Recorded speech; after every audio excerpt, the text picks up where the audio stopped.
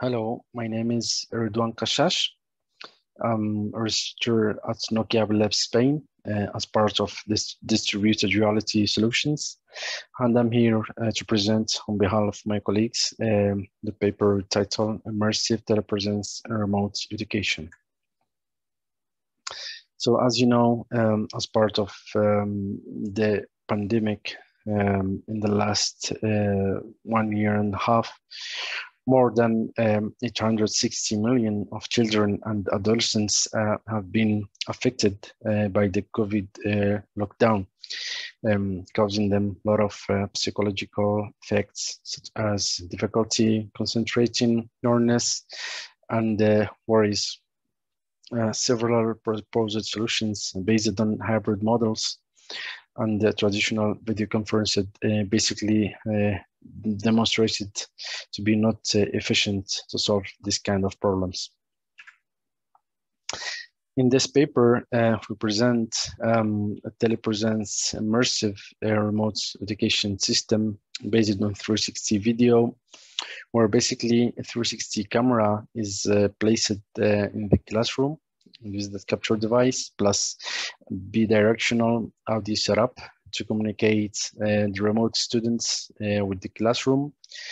Um, so the idea basically is um, to send real-time immersive uh, live uh, video stream to remote students. So uh, these um, can uh, wear VR HMD and join the, the classroom as if they were physically present there.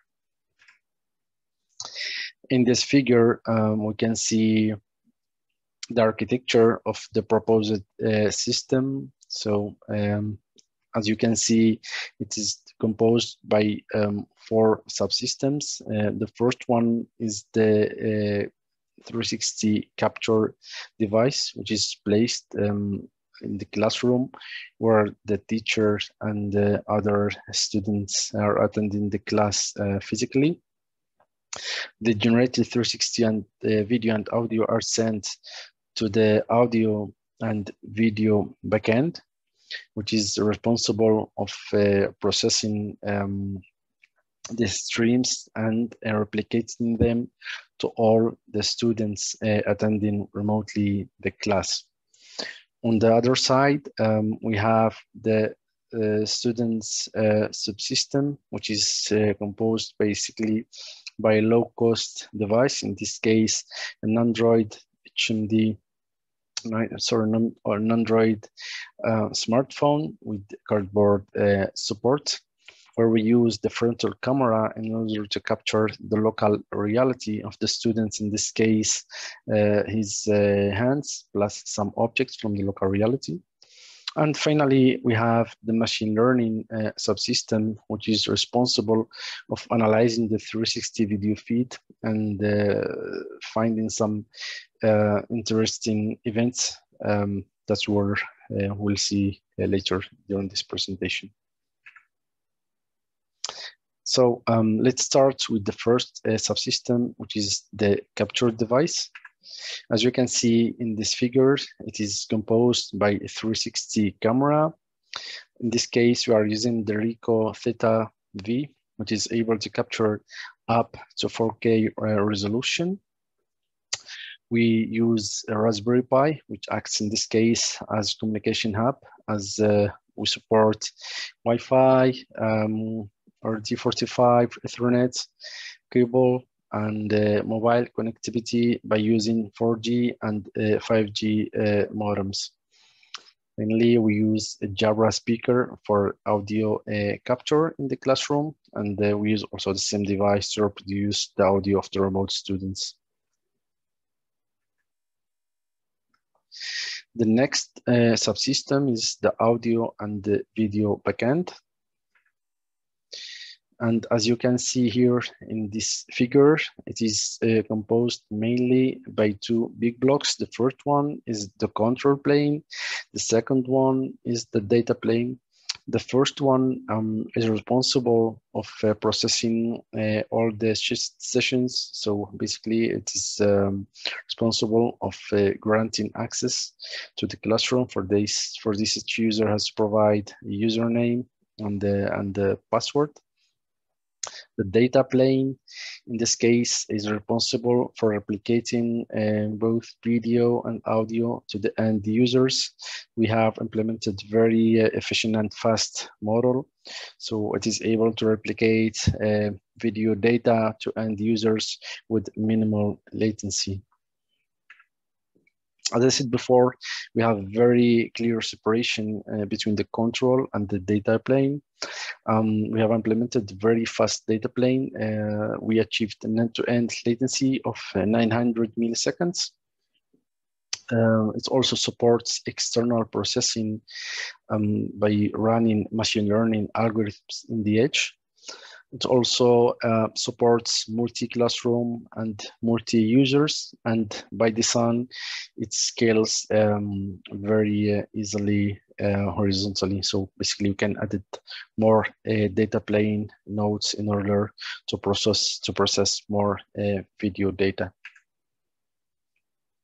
The next uh, submodel is the machine learning um, analysis.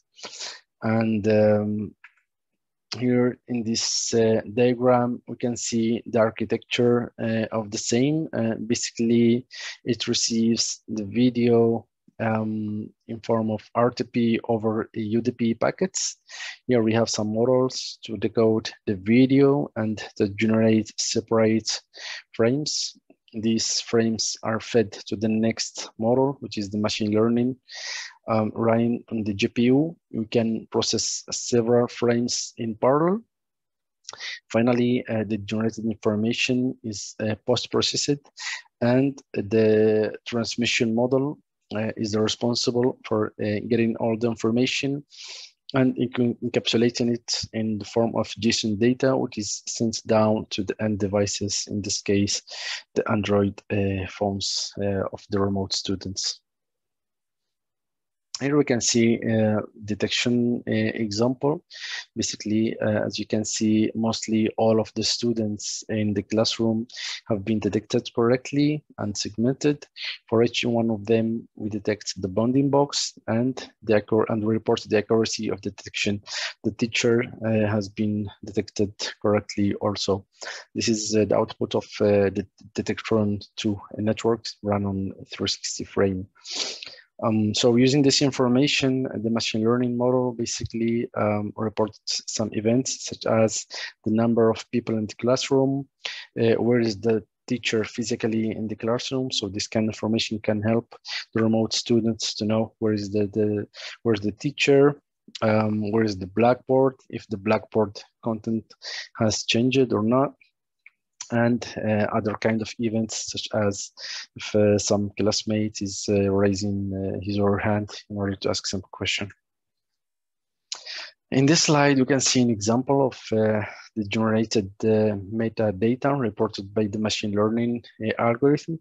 As you can see, it contains information such, such as um, the video resolution, timestamp, the number of people in the frame, in this case eight, and for each one of them, we report the bounding box in, uh, in terms of uh, coordinates, basically.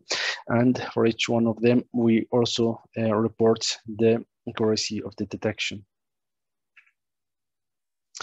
The next uh, subsystem of, uh, of our architecture is the, the remote uh, student and uh, as I said before, uh, this system is composed by a simple smartphone with the uh, cardboard VR support, an Android smartphone. And we use the frontal camera of the smartphone in order to capture what we call the local reality. In this case, the user arms and hands, plus some objects such as the whiteboard in this, in this case. Um, the architecture of uh, of this uh, model is um, based uh, mainly on the GStreamer plugin, which we use um, to process the video. The whole um, pipeline uh, has been implemented uh, over Unity. So this way we can uh, easily port our client to other operating systems as Linux or, or Windows. By now support Android. So um, this solution basically has a lot of advantages. The first one, the first one we can use uh, any Android with cardboard VR support. It is low cost solution, affordable hardware for students and for schools. It is um, well set up. You can bring it uh, anywhere. Um, you can uh, get telepresence uh, by the VR easily, plus the body and egocentric view by using the frontal camera segmentation. And uh, in general, it's very simple and easy to set up. Basically, just uh, you have to install Android APK and you are ready to go. You are ready to go. Here we can see some examples. On the right side, we can see a figure, uh, an example of uh, egocentric view, um, which is composed by the 360 video of the classroom plus the hands of the user. On the left side, we can see Unity scene where we are uh, painting some um, events uh, and coordinates that we got from the machine learning submodel. We uh, conducted uh, several uh, experiments uh, with the, the system. Uh, some preliminary experiments have been conducted at SEC, which is the Colegio Internacional SEC in Madrid. for this, we chosen a student group of 14, 15 years. Um, and basically we, we placed the capture device um, in the classroom during a math class. We had seven students uh, physically present in the classroom plus the teacher and other four students plus other uh, three teachers attending the classroom uh, remotely. Here we can see the real device placed in the math classroom. On the right and we can see the students and a teacher attending the classroom. So we got basically some preliminary feedback as pros. Um, both teachers and students in general enjoyed the experience. Um, the 4K resolution uh, in the setup was good enough to feel the, the, the presence.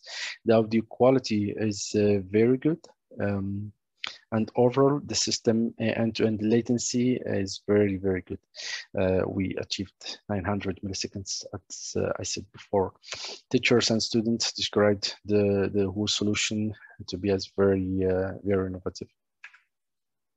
As ASCOMS, basically uh, the resolution, we found that the resolution should be higher in order to see uh, finer details on the whiteboard and uh, um, right now it is not possible for the students attending uh, physically the classroom to see the, the remote students joining the class remotely. Uh, they can hear them, but uh, they can't see them. And the system uh, placed uh, locally in the in the classroom could be distractions to other students, especially for the younger ones.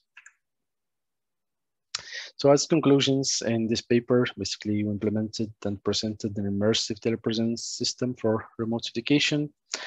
Um, we presented the simple capture device based on 360 video camera plus uh, audio. Um, we use also low cost end user device based on Android plus uh, cardboard VR. We achieved very good and low end-to-end -end latency of 900 milliseconds. And uh, basically the preliminary experiments were very uh, promising. As uh, future work, we would like um, to implement machine learning based egocentric segmentation. So this way we can include more uh, objects from the local scene in the in the student's view um, we'd like to use avatars to represent the remote students. So this way, the students attending physically can see a representation of the remote ones and the remote students can see each other also in the VR space. Would like to implement um, some solution to share the local uh, view uh, of the student with the teacher. So this way he can and she can um, get some uh, feedback from the, the, the teacher if uh, he or she is doing uh, some, uh, some work. And finally, we are planning to conduct more field experiments with more schools to get more, more data. And that was all. Thank you very much for attending. Bye.